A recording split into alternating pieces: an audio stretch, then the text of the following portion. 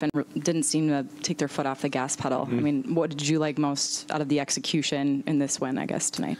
Well, I thought you know, we we got off to a good start. You know, that's been great for us all season. And then the way we closed the half, I thought was where we pretty much won the game. You know, um, stops and getting out a little bit, and then um, you know we we did a good job in the third. I mean, we won the third. Um, you know, there was so no easy. No easy buckets. I think Rudy like impacted the first four shots of the of the third quarter. Um, and, and we didn't give any real any real ground back right there, which has been also a problem for us, as you know. So Talking about Rudy's impact in that third, what did you think about his overall impact tonight? His best. yeah, I mean, you know, he controlled the paint. He was, you know, we found him a ton. Um, you know, great game. You know, great game by him. Obviously, um, you know, plus thirty, plus thirty-one. 21 rebounds, 25 points. I mean, and you know, all credit to his teammates. They really did a great job of finding him tonight, and he did, a, you know, really, really good job of swarming the paint. Did you have a chance to get anything on Ant? Any sort of update? I just no, I just heard uh, uh, hip soreness. So Because we've talked a lot about getting Rudy the ball. I mean, i- is it maybe as simple as just they need reps and reps and I reps? think there's some of that for sure. You know, um, yeah, and I think some of it, um, you know, with uh, some of the lineups that, you know, we're out there um, a little bit smaller, so it was a good target over top. Um, thought guys did a really good job of, you know, had, having their head up and looking for them, um, whether it be on the roll or the, you know the drive and the lob. Uh, Jaden was really good. So yeah, I think some of it is just reps, you know, and then kind of you know, ball movement is better right now, and um, so everything has a little more space, and that space allows you to see what's going on a little bit. And we're not when we get slowed down and we get static, then you know they got guys hanging on Rudy. It makes it harder, you know. So Kyle was also plus 31. I mean, Yeah. does it seem like he and Rudy just are kind of attached to the hip there, just the way that they have been able to build a rapport and, and play off of each other? well, for sure, no doubt. I mean, I mean, just you know, Kyle is like a safety blanket out there. When you need to, you put the ball in his hands. You know you're going to get something good. Uh, you know, he and Rudy have a great combination going there at the elbows. A lot of just you know uh, creativity. So.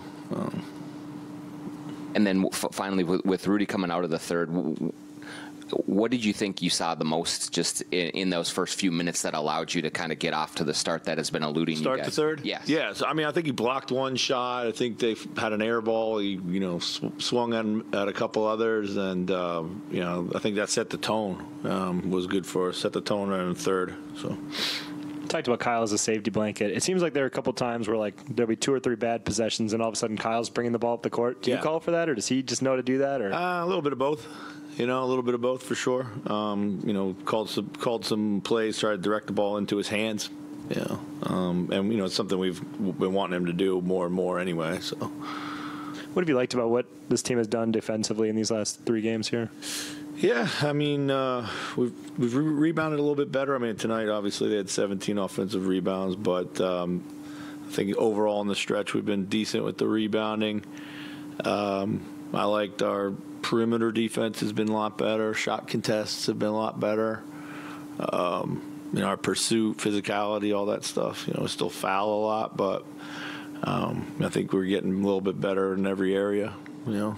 There's three straight games where opponents have shot really poorly on their second chance attempts. Is that something where you said like, if we're going to give these up, we better defend on it, or like where do you think that's coming from? I just think, it- yeah, I, th- I actually think you know we've made such a point of our you know our rebounding woes that uh, I think you know guys are almost shamed into going out there and getting it back. You know, so Chris, you mentioned the the spacing earlier there. Uh, curious if like if you think this group is acclimating to what the nature of the spacing of this team is. We've obviously talked about how it's different, uh, very different than, than last season in terms Yeah. of the, the volume, three point shooters, and KAT being out.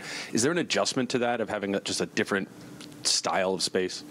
Um, yeah, you know, like our our spacing has always been more fluid, Dane, than static. You know what I mean? Like we're not like we might set up for round one, but we really value getting to those spots and filling those spots. We look a lot more comfortable doing that, reading each other, like where we're going. You know, it's not like just you know static pick and roll, diver, create some distortion. Everybody knows where they are. Like that's great spacing too, but that's really not how we play. So I think so. It just feels like people kind of know what they're doing a little bit more out there, like in terms of playing off of each other. So. Among his many improvements thus far this year, Jaden McDaniels seems to have pretty amazing court IQ for somebody 22. Yeah. I mean, his shot selection seems to be really good, and uh, as you said, he found Rudy a lot tonight, but he Yeah. seems to be moving the ball. Is that something that you saw early? Is that something you've always think he had, or is that something that has been a big step forward in his game this year? think? I think he's always had it, Britt. I think he's, excuse me. I think he's always had great feel. Um, you know, for the most part, he always he, he takes good shots. That's never really been an issue. Um, what I like now is. Um, He's making pretty quick decisions when he catches the ball, uh, but a lot of that has been because he's been able to polish up his skills. That that stuff comes, you know, comes through now. Yeah, exactly. Yeah, yeah. So that's a credit to him and Joe Boylan and everybody who's worked on, you know, just he's had a lot. He has a lot of skills, and he's just polishing them up a little bit across the board. with Rudy and and guys getting the ball to him, is it preferable, or have you not talked about maybe getting him the ball chest high or above his head, as opposed to on the bounce? Yeah, you know, I mean, it'd be great if they could throw every pass like right there and he could just dunk it. But you know, I want we, we always preach like make the play that's there in front of you, and if it's a bounce pass into the pocket, you know, Rudy's got to catch it. You know, sometimes he might not. Maybe he's expecting it. I, like it's not a matter whether. A lot of times, this is what it's not a matter of whether he can or cannot catch the ball because he has pretty good hands.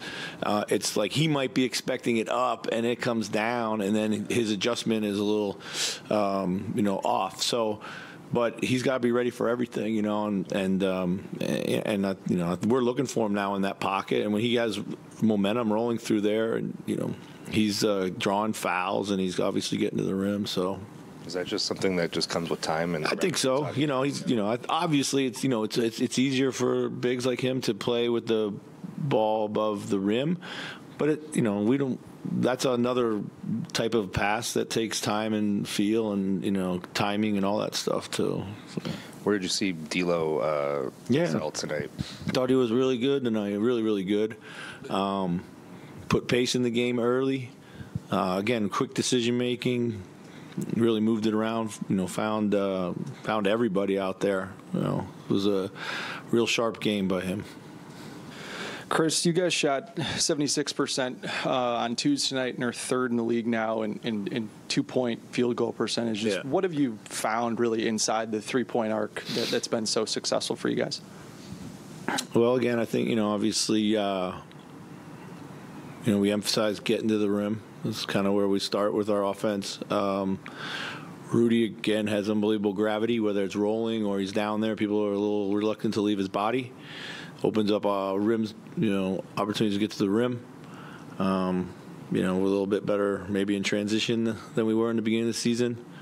Um, you know, we got a bunch of guys. I think Kyle does a really good job of getting down, getting to the rim too. So, and Ant's uh, shot selection has